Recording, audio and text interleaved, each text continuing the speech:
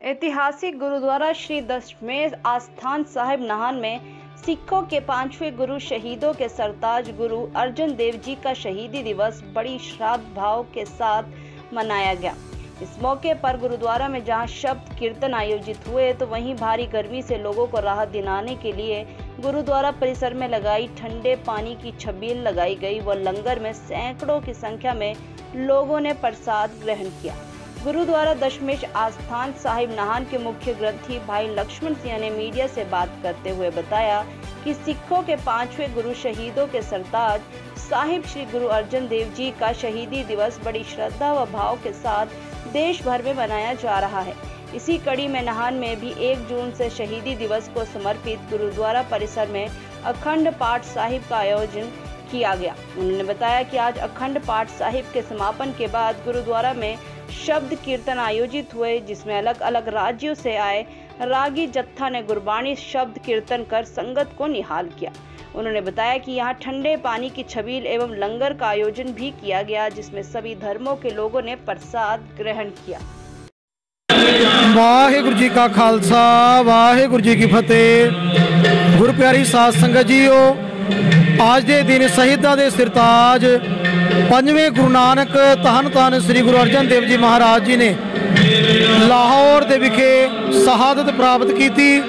ਗੁਰਦੀ ਸੰਗਤ, ਜਿੱਥੇ ਵੀ ਗੁਰੂ ਨਾਨਕ ਲੇਵਾ ਸਾਧ ਸੰਗਤ ਵਸੀ ਹੋਈ ਹੈ, ਸਿੱਖ ਭਰਾ ਬੈਠੇ ਹਨ।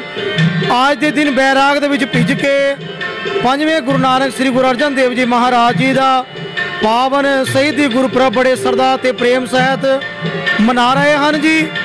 ਗੁਰਦੀ ਸੰਗਤ ਇਸ ਸਥਾਨ ਤੇ ਵੀ ਨਾਹਣ ਦੀਆਂ ਸਮੂਹ ਸੰਗਤਾਂ ਦੇ ਸਹਿਯੋਗ ਨਾਲ ਸਮੂਹ ਪ੍ਰਬੰਧਕ ਕਮੇਟੀ ਵੱਲੋਂ ਤੁਰਕੀ ਬਾਣੀ ਦੇ ਜਾਪ ਸ੍ਰੀ ਅਖੰਡ ਪਾਠ ਸਾਹਿਬ ਜੀ ਪਰਸੋਂ ਰੋਜ਼ ਤੋਂ ਪ੍ਰਾਰੰਭ ਹੋਏ ਸਨ ਜੀ, ਜਿਨ੍ਹਾਂ ਦੇ ਅੱਜ 10:30 ਵਜੇ ਭੋਗ ਪਏ ਹਨ।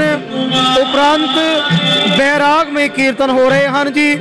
ਦੂਰੋਂ ਦੂਰੋਂ ਜੱਥੇ ਆਏ ਹੋਏ ਹਨ ਤੇ ਗੁਰਦੀ ਸੰਗਤ ਸਤਿਗੁਰਾਂ ਦੇ ਸ਼ਹੀਦੀ ਗੁਰਪੁਰਬ ਨੂੰ ਮੁਖ ਰੱਖਦਿਆਂ ਹੋਇਆਂ ਗੁਰੂ ਦੇ ਲੰਗਰ ਅਤੇ ਛਬੀਰ ਦੇ ਲੰਗਰ ਲਗਾਏ ਹੋਏ ਹਨ ਜੀ।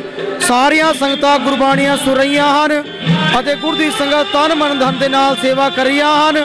ਛਬੀਰ ਦਾ ਲੰਗਰ ਛਕਰਾਈਆਂ ਹਨ, ਗੁਰੂ ਦਾ ਲੰਗਰ ਛਕਰਾਈਆਂ ਹਨ ਅਤੇ ਗੁਰੂ ਘਰ ਦੀਆਂ ਖੁਸ਼ੀਆਂ ਪ੍ਰਾਪਤ ਕਰ ਰਹੀਆਂ ਹਨ ਜੀ।